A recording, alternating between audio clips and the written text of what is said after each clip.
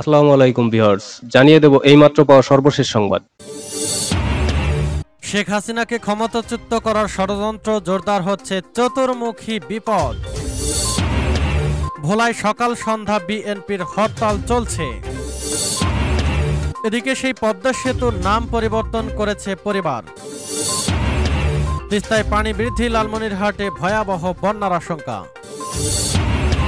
আন্তর্জাতিক অঙ্গনের সবথেকে গুরুত্বপূর্ণ সংবাদ, তাইওয়ানের আকাশে ঢুকে পড়েছে চীনের এক ঝাঁক যুদ্ধ বিমান। এবং সর্বশেষ জানিয়ে দেব, ভারতে মুসলিমদের দখলে চলে যাবে। অনুরোধ থাকবে, ভিডিওটি শেষ পর্যন্ত দেখুন এবং ভালো লাগলে লাইক, কমেন্ট এবং শেয়ার করতে ভুলবেন না। চ্যানেলে নতুন হলে চ্যানেলটি সাবস্ক্রাইব করুন। শেখ হাসিনাকে ক্ষমতাচ্যুত করার ষড়যন্ত্র জোরদার হচ্ছে বলছে প্রধানমন্ত্রী। প্রধানমন্ত্রী শেখ হাসিনা বলেছেন, জাতীয় নির্বাচন ঘনিয়ে আসায় তাকে ক্ষমতাচ্যুত করার ষড়যন্ত্র জোরদার করা হচ্ছে। প্রধানমন্ত্রী বলেন দু নির্বাচনের আগে চক্রান্ত করেছে। দু নির্বাচন আগে করেছে, আবার এখন নির্বাচন যখন ঘনিয়ে আসছে তখন শেখ হাসিনাকে ক্ষমতা থেকে সরাতে হবে। প্রধানমন্ত্রী শেখ হাসিনার সঙ্গে আজ সকালে গণভবনে বাংলাদেশ রেড ক্রিসেন্ট সোসাইটির নবনির্বাচিত বোর্ড সদস্যগণ সৌজন্য সাক্ষাৎকালে প্রদত্ত ভাষণে তিনি একথা বলেন। তিনি বলেন দুর্যোগ চতুর্দিক দিয়ে আসবে এবং আসছে। এদিকে প্রাকৃতিক দুর্যোগ, অপরদিকে মনুষ্যসৃষ্ট দুর্যোগ, তাই এক ইঞ্চি জমিও অনাবাদি ফেলে রাখা যাবে না। উৎপাদন বাড়ানোর মাধ্যমে নিজের ব্যবস্থা নিজেকেই করে রাখতে হবে। তিনি বলেন, আন্তর্জাতিক দুর্যোগও যেমন আসবে, পাশাপাশি যেখানে রাসেলকে দশ বছরের ছোট্ট পর্যন্ত খুন করল আর সেই পরিবার থেকে বেঁচে এসে সরকার আসলাম, সাফল্য এনে দিলাম, বাংলাদেশকে উন্নয়নশীল দেশের মর্যাদা এনে দিলাম, এটা অনেকেরই পছন্দ করবে না। কাজেই তারা তৎপর আছে সারাক্ষণই। আমি জানি তাদের তৎপরতা অনেক বেশি। তাদের খবর আমি রাখি। আমরা তো অচেনা কেউ না, তারা তাদের চক্রান্ত করে যাচ্ছে। সকালেই তাজা খবর, ভোলায় সকাল সন্ধ্যা বিএনপির হরতাল শুরু। ভোলায় সকাল সন্ধ্যা হরতাল ডেকেছে বিএনপি। ভোলা জেলা ছাত্রদলের সভাপতি নুরে আলমের মৃত্যুর ঘটনায় আজ এই হরতালের ডাক দেয় সংগঠনটি। বুধবার বিকেল সাড়ে তিনটার দিকে নুরে আলমের মৃত্যুর খবর ছড়িয়ে পড়লে বিক্ষোভ শুরু করে দলের নেতাকর্মীরা। এ সময় হরতালের ডাক দেয় নেতাকর্মীরা। জেলা কার্যালয়, কালীনাথ বাজার এলাকায় জেলা বিএনপির সভাপতি গোলাম নবী আলমগীর ও সাধারণ সম্পাদক হারুনুর রশিদ, ট্রোম্যান এ সময় উপস্থিত ছিলেন। রোববার ভোলায় জাতীয়তাবাদী দল লোডশেডিং ও জ্বালানি খাতে অব্যবস্থাপনার প্রতিবাদে বিক্ষোভ সমাবেশ করে। সমাবেশকে কেন্দ্র করে পুলিশের সঙ্গে নেতাকর্মীদের সংঘর্ষের ঘটনা ঘটে। এ সময় মোহাম্মদ আব্দুর রহিম নামে একজন, অন্য একজন নিহত হয়েছে। ছয় পুলিশ সদস্য সহ আহত হয়েছে প্রায় পঞ্চাশ জন। এ ঘটনায় আহত ভোলা জেলা ছাত্র দলের সভাপতি নূরে আলম চিকিৎসাধীন অবস্থায় বুধবার মারা যান। সেই পদ্মা ও সেতুর নাম পরিবর্তন করছে পরিবার।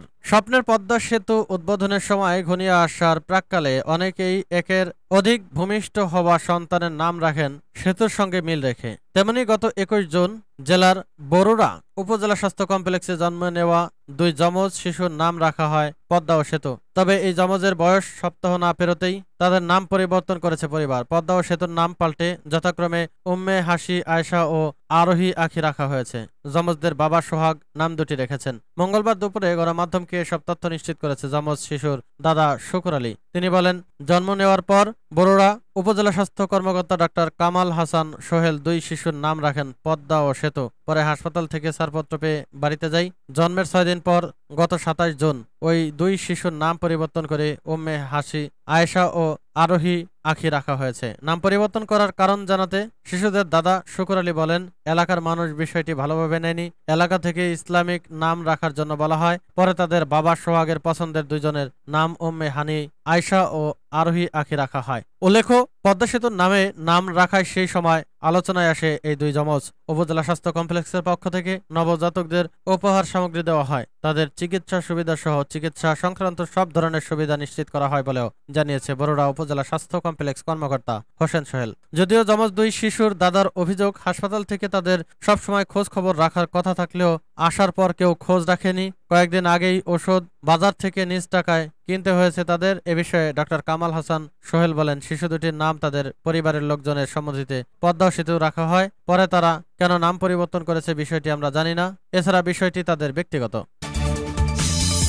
তিস্তায় পানি বৃদ্ধি। লালমনিরহাটে ভয়াবহ বন্যার আশঙ্কা। তিস্তার পানি বৃদ্ধির ফলে নতুন করে বন্যায় লালমনিরহাটের দশটি প্রাথমিক বিদ্যালয় পাঠদান বন্ধ রয়েছে। তিস্তা নদীর পানি বৃদ্ধি পাওয়ায় তীরবর্তী নিম্ন অঞ্চলে প্লাবিত হয়েছে লালমনিরহাটের জেলা সদর হাতিবান্দা কালীগঞ্জ।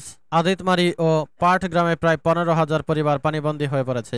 এই পাঁচ উপজেলায় বন্যায় বিশুদ্ধ পানির সংকট দেখা দিয়েছে। বুধবার সকাল নয়টায় লালমনিরহাটে হাতিবান্ধা উপজেলার দেওয়ানিতে অবস্থিত তিস্তা ব্যারেজ পয়েন্ট পানি বিপদ সীমার তেরো সেন্টিমিটার নিচ দিয়ে প্রবাহিত হয়। মঙ্গলবার সন্ধ্যা ছয়টায় তিস্তার পানি বিপদ সীমার দশ সেন্টিমিটার উপর দিয়ে প্রবাহিত হয়। এতে বন্যার ভয়াবহ পরিস্থিতির সৃষ্টি হয়। ডালিয়া পানি উন্নয়ন বোর্ডের নির্বাহী পরিকৌশলী আশফাউদ্দোল্লাহ বলেন ভোর থেকে তিস্তার পানি কমতে শুরু করেছে। তিস্তার পানি বিপদ সীমার তেরো সেন্টিমিটার নিচ দিয়ে প্রবাহিত হচ্ছে।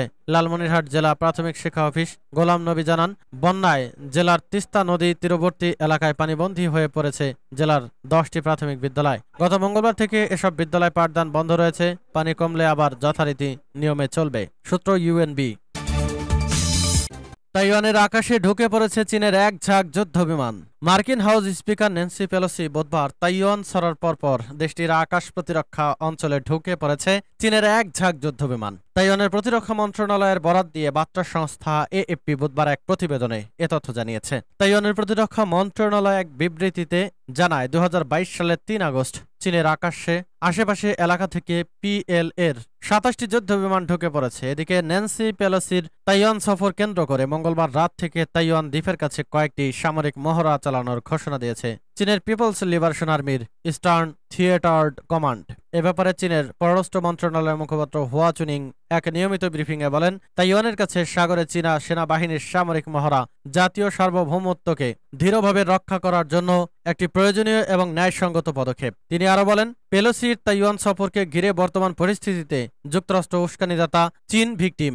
যুক্তরাষ্ট্র এবং তাইওয়ানের যৌথ উস্কানি প্রথমে এসেছিল, চীনের ন্যায়সঙ্গত প্রতিরক্ষা ব্যবস্থা পরে এসেছে। চীনের হুমকির মধ্যেই এশিয়া সফরের অংশ হিসাবে যুক্তরাষ্ট্রের প্রতিনিধি পরিষদের স্পিকার ন্যান্সি পেলোসি তাইওয়ানে পৌঁছান। এরপরই তাইওয়ান দ্বীপের কাছে পাঁচটি সামরিক মহড়া শুরুর ঘোষণা করে চীন। এছাড়াও দক্ষিণ চীন সাগরের ওই দ্বীপ রাষ্ট্রের সীমান্তের কাছে বাড়ছে সাজোয়া গাড়ি এবং অন্যান্য সামরিক সরঞ্জাম। চীনা হুমকির প্রতিক্রিয়ার পর তাইওয়ানের পূর্ব সীমান্তে চারটি যুদ্ধজাহাজ মোতায়েন করে হোয়াইট হাউস পেলোসির নিরাপত্তার অজুহাতে দক্ষিণ চীন সাগরের দ্বীপ রাষ্ট্রে আমেরিকার যুদ্ধ বিমানের বহরও ঢুকে পড়েছে। পেলোসির তাইওয়ান সফর কূটনৈতিক এবং সামরিক দিয়ে তাৎপর্যপূর্ণ হবে বলেও মনে করা হচ্ছে। উনিশশো সাতানব্বই সালের পর থেকে এই প্রথম যুক্তরাষ্ট্রের কোনো শীর্ষস্থানীয় রাজনৈতিক নেতা তাইওয়ান সফরে গেলেন।